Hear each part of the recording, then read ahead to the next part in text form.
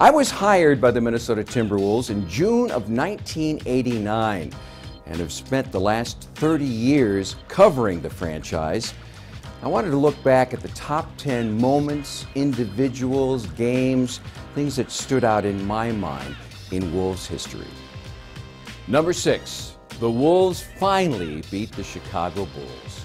Timberwolves fans first got a chance to see Michael Jordan in person at the Metrodome in 1989 when he dropped 45 points on them.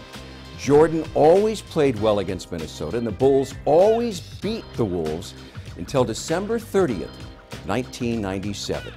Chicago had a nine point lead at the half, but the young trio for the Timberwolves, Garnett, Gugliotta, and Marbury, uh, found a way to beat Chicago. The first time the Timberwolves have beaten the Chicago Bulls! We all remember Steph throwing the ball in the air as the final seconds ticked off.